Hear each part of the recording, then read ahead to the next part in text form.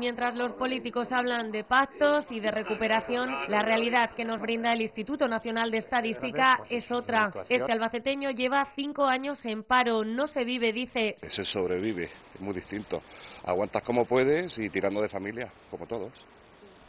Gracias a un amigo mío que me ha metido en un sitio y a ver si tengo suerte y cojo, a primeros de mes cojo trabajo.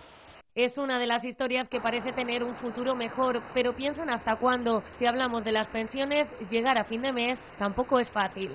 Para comer, ¿eh? pero para gastos con la pensión no tenemos. ¿Qué va?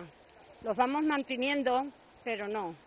En plena resaca electoral, el INE muestra el umbral de la pobreza en nuestro país. En Castilla-La Mancha, un 16% de los ciudadanos asegura retrasarse en el pago de facturas. Casi un 35% no puede asumir gastos imprevistos y el 46,3% no puede permitirse vacaciones. Hay más gente de la que nos pensamos.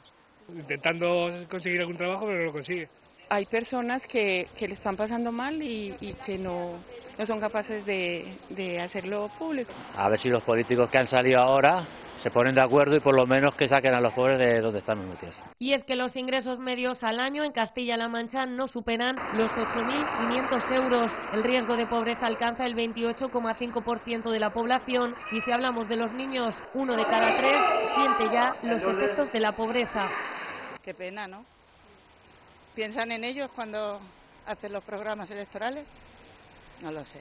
Eso es más grave aún. Porque esos son los que nos tienen que dar de comer el día de mañana a nosotros. Hay que cuidarlos. Como ya decía un gran periodista, estos son los datos. Ahora piensen en ellos.